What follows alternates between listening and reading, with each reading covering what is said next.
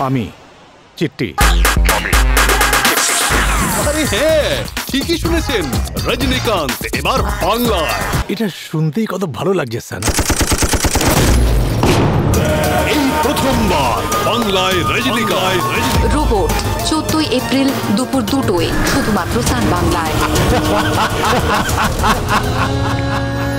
মনে প্রাণে বাঙালি।